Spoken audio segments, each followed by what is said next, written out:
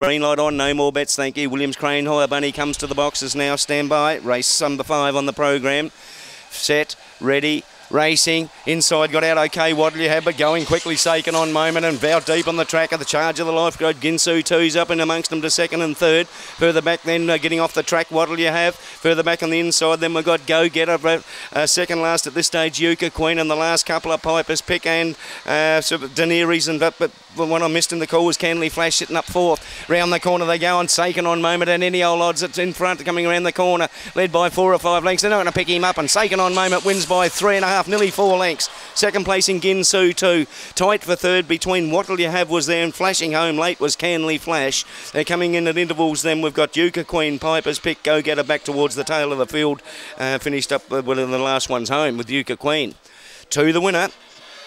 Two Saken on moment.